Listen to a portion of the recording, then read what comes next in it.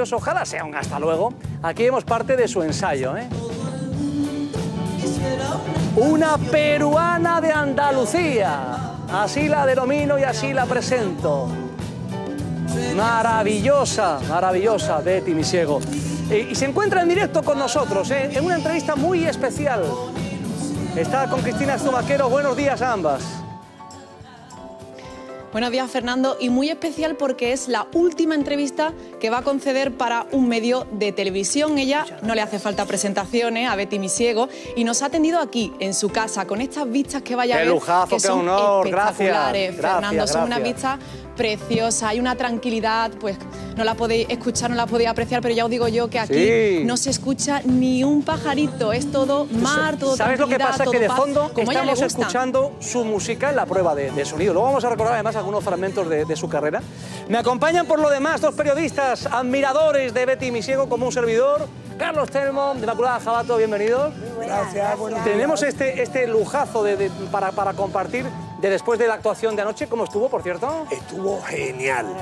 Yo estaba emocionado, mire, pero ¿sabes que yo la vi desde tan cerca, la vi desde Procenio se llama? Y yo estaba nerviosísimo de verla con la túnica blanca, esa maravillosa, estuvo genial. Túnica blanca que copiaba el modelo de Eurovisión. Eurovisión.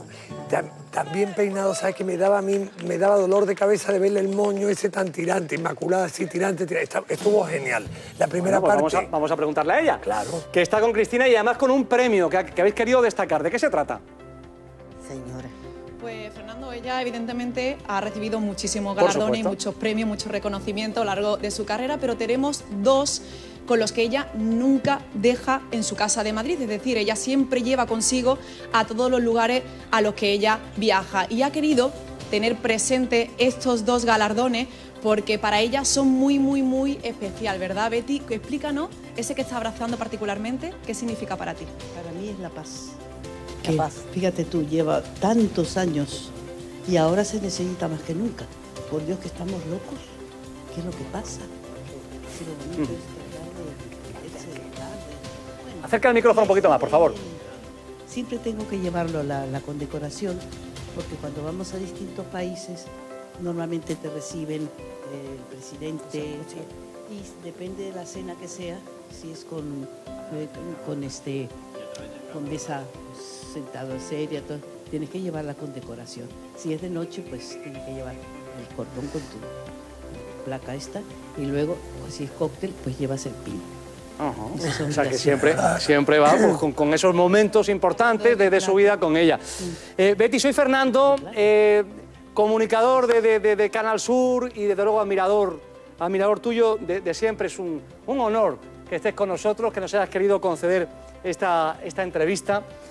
¿Cómo fue el concierto de anoche? ¿Qué, qué sensaciones permanecen todavía en, en- en tu recuerdo? Ahora, ahora sí. Nos dice Ahora no, desde parecía que no me escuchaba. escuchando desde este momento, ahora te escucha Fernando. ¿Qué Bueno, me vuelvo a presentar. Betty, soy Fernando. Te decía, no sé si me escucha Betty Misiego. ¿Me escucha ya por La fin? entrega total No me de escucha. la gente hacia mí. La entrega total, total, en- y exigiendo también, no, no haciendo un favor en el sentido de decir, bueno, como es mi amiga. Ahora te. No, no, no. mal. Cuando había, cuando había canciones. ya, ahora nos escuchamos. Ahora sí, vale. ahora Hola, sí, Fernando. Betty, menos mal. Oh, Eh, te- te- vale, te- nos hemos encontrado. Te decía que soy un admirador tuyo de siempre, no lo digo por quedar bien. Eh, permíteme que traiga un, un- un recuerdo compartido por millones de españoles, de andaluces, de aquella noche en Eurovisión. Eh, permíteme que diga que yo era un chavea.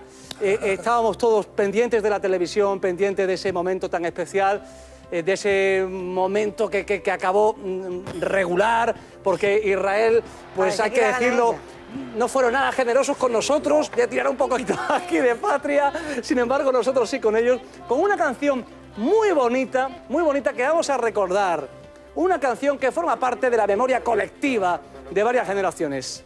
La canción la vamos a escuchar y nos vamos en el tiempo hasta 1979. que cantaba. Uno fue y me dijo, ¡Eh, mayor! no quieres incluir tu voz cansada. Ya verás qué fácil es cantar. Si tienes bien alegre el corazón. Si todo el mundo Mundo cantar. será una canción que hable de paz, que hable de amor. Sería sencillo podernos reunir para vivir con ilusión. Quiero decirle conmigo esta canción que deje atrás su mal amor para que salga en la vida a sonreír Qué bonito. De voz, de momento, qué entrañable.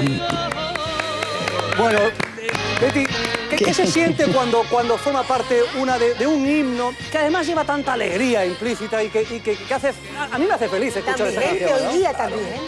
Sí, porque, eh, ¿sabes qué? Que se hacen las canciones no con la idea tampoco de, de ser que tenga un número uno, pero esta, esta canción para Eurovisión de Española, buenísima, ahora se están usando en los colegios. Sí.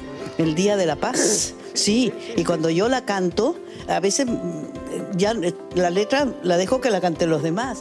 También cuando pasas que te digo por, por unas obras que, que- que están haciendo de estos los, los, este ahí los que están trabajando la la la la la la la la la. Entonces sí, sí, en lugar de decirte oh, cosas que se te bueno, no, sí, la la. Entonces Oh, claro son cosas sí. que sin querer llegas a a hacer casi un himno, lo que tú has dicho, es que es un Sí, himno. sí, es un himno de es la paz, himno. es un himno de la alegría, no, no exagero. Sí. A mí, desde luego, es lo que me sugiere esa canción. Eh, también me acompañan, como te anunciaba, Carlos Telmo, Inmaculada Jabato, que son periodistas y te quieren preguntar, por supuesto, adelante, Inma. Yo creo que- porque Betty, eh, yo no sé si la gente Has sabe. cantado, que- has cantado, has cantado. He Sí, se ha cantado, dejado llevar. Sí. Y no sé si la gente sabe que Betty, esa elegancia que tiene natural, porque además tiene muchos premios a la sí, elegancia, sí, como eh, ese reconocimiento, viene de que de chiquitita ella quería ser bailarina de ballet. De hecho, empezó siéndolo, ¿no? Llegaste a ser maestra, pero un accidente, una lesión, te quitó de los escenarios. Yo no sé si ahora cuando miras atrás, ¿no? Que te has despedido con ese cariño anoche Málaga y tal, te, te alegra, porque dice, muchas veces no sabemos dónde, dónde se abre una puerta. ¿Te alegras ahora, Betty, de tu carrera como cantante y no echas de menos ya haber sido bailarina de ballet? Eh, No, ya no, pero Ya claro, no. yo veo ballet y me, me vuelvo loca porque esa era mi carrera. Y este, no, no, no echo de menos porque estoy en el escenario también, como al ser bailarina, pues los movimientos son diferentes, de las manos, Eso. del caminar en un escenario, de, de- de saber usar un escenario grande sobre todo. A mí me gusta el escenario grande. Porque lo llenas, Betty, además. Carlos Betty, Telmo. soy Carlos. ¿Cómo estás? Carlitos, corazón mío, ¿Cómo te estás? quiero. ¿Cómo lo, Mm. cómo lo pasé ayer de bien? Lo pasé genial. Y lo del ballet te ha quedado porque ya te- anoche, como estuve en proscenio, te, te he copiado todas las manos para mañana hacerlo en la radio, Ah. hacerlo, ponerme la mano así aquí. Y bueno, estuviste genial, Betty. genial, genial. Muchas gracias, Carlitos. Me dio Muchas gracias. Sé que si alegría no te hubiera gustado, me lo hubieras dicho. Sí. ¿Sabes que eh, recuerda la decisión de Marifé Triana, otra grande de, sí. de la Copa de venirse a vivir a, a Málaga, concretamente a Benalmádena? ¿Qué tiene ese paisaje? Ese, bueno, yo lo sé porque soy de aquí, pero díselo a la gente, ese mar que tiene de Te he fondo. presentado como una peruana de Andalucía. Exactamente. No sé si Ella- te gusta... Betty Sí. dice que es feliz en Benalmádena, en Málaga, y que es feliz en esta etapa de su vida, ¿no? Totalmente. Además, el sitio que tengo, lo ha dicho Cristina, es algo impresionante. La tranquilidad que hay, el sonido, el rumor del mar cuando está tranquilo, el color que tiene, la claridad y cuando está fuerte, cómo las olas rompen.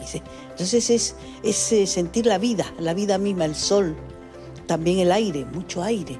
Y también sales, no que- Ha, ha definido la costa y ha aquí. definido Andalucía. Por cierto, no se puede vivir sin sol, no se puede vivir sin aire y no se puede vivir No. sin música. Yo creo, Betty, que lo de anoche es un hasta luego, o, o- o corrígeme. No, no, no. ¿No? Es para siempre. Hasta siempre. ¿Estás segura? Hasta siempre quedar en la memoria de vosotros, sí. Sí, totalmente segura. ¿Y por qué? ¿Por qué Lo esa he hecho decisión? Muy pensado. Porque quiero vivir otra vida. Quiero viajar con mi marido. Quiero salir y no tener la obligación de, de- de- estar en un escenario. Corre para acá, corre para allá. Eh, ya me canso también, lógico, cariño mío, porque son años. Y ahora, a la hora que sales al escenario o que entras al escenario con mucha gente, yo no sé, te, La te entra una cosa tan. No, no, sino te entra una cosa como si te metieran un turbo dentro. te- uh, va llegando y entonces te creces, pero después te vas volviendo más pequeña. Conforme pasan los años, te vas volviendo más pequeña, más pequeña. Y yo no quiero llegar a ser, echar de menos un escenario y que me tenga que llevar con, que te digo, arrastrando, ni que digan, uy, que sí, cómo cantaba. No, Pobrecita. no, todavía canto. Pero, Sí. Betty, Y ese dos moño- horas seguidas. Carlos. Ese moño no te lo cortes, ¿eh? Ese moño te lo dejas ahí puesto para alguna cosa. Una vocación muy taurina. para algo. No, pero Tú además, sabes que a veces pienso, digo, por Dios, quiero cortarme el pelo, ponerme flequillo, pero yo me imagino, me veo así y digo, no, no. Sería Mi maravilloso la exclusiva en y la mi diario, ¿eh? cuando sé. Sería maravillosa la exclusiva aquí, por favor. Betty, ¿ah? Betty Viseo con pelo corto y flequillo. Betty, que antes, de- antes te decía que no me has oído, que me dolía a mí la cabeza de verte el pelo tan tirante y tan bien peinado a- anoche. Forma parte de su No. estética, ¿eh? Es un- Sí, no, no es tan fuerte. Uno dice, que- sí, parece que te has hecho un lifting o te has hecho, ¿cómo se llama eso? Que se estira la gente, los pelos. No, no. Pero Betty, lo ya bonito, estoy acostumbrada. Betty, lo que yo creo que para ti tiene valor ahora es que el día después las críticas al concierto han sido estupendas, admirándote todo el mundo porque más de dos horas en el escenario tú sola, con tu grupo de música, pero sin más cantantes. ¿ya?